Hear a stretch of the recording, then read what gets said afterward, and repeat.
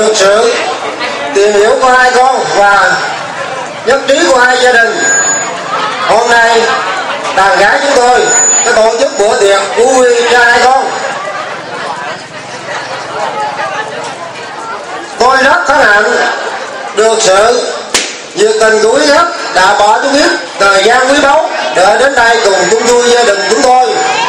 Tôi không biết nói gì không trước tiên, tôi cầu chúc quý khách sức khỏe vui vẻ và ngon miệng trong buổi tiệc ngày hôm nay. Và trong buổi tiệc ngày hôm nay, gia đình tổ chức cái gì thiếu sót, mong quý khách đừng tình thông cảm cho. Tôi xin thành thật cảm ơn. Những tràng pháo tay thật là giản giá của quý vị dành dành cho lời phát biểu trên cả tuyệt vời.